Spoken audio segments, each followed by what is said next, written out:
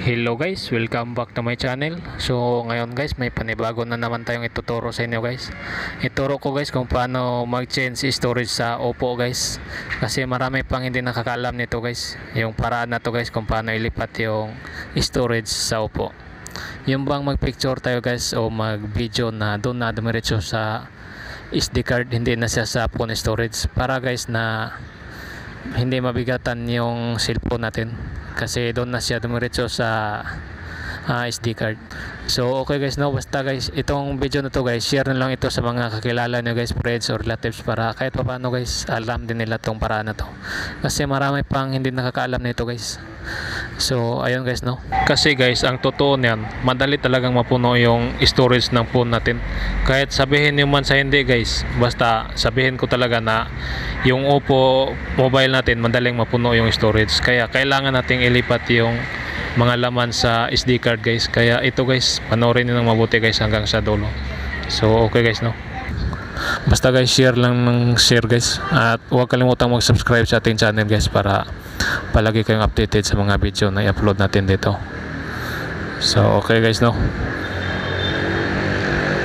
Mahirap kasi yung sa Oppo guys, hindi gaya ng ibang cellphone na madali lang. Sa Oppo dadaan ka pa ng mga secret settings. So dito guys, punta tayo sa ah, settings natin. So ayan.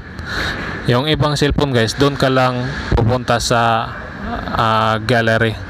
Makikita mo na doon na ilipat sa storage o SD card. Pero sa Oppo guys, iba. Punta ka pa ng settings. Ayun, nasa settings na tayo. Ito, settings. Tapos dito sa taas guys. Ayan. Mag-search tayo ng camera. So ayan, itong pangatlo guys, yung may Android, ito click natin to. Tapos dito, makita natin yung save to SD card preferred. Dito guys, ayan, ayan. I-on lang natin to. So ayan, turn on. So ayan guys. So, ayun guys, na turn on na natin. Basta guys, share lang ng share guys para kahit pa paano guys, alam din nila itong paraan na to guys. So okay guys no. Exit lang tayo dito guys tapos tingnan natin sa picture.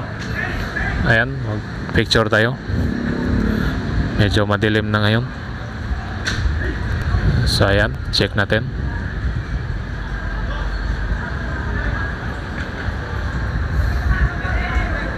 So dito sa taas guys, yan sa taas, yung parang I. Click lang natin yun. O ito guys, nasa SD card na siya. oh. Ayan.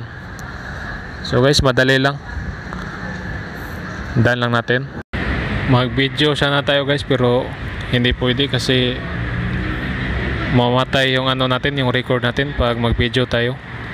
So hanggang dito lang muna guys. Basta guys, share lang ng share guys. At huwag kalimutang mag-subscribe sa ating channel para palagi kayong updated sa mga video na i-upload natin dito guys. Okay guys, maraming salamat sa panonood.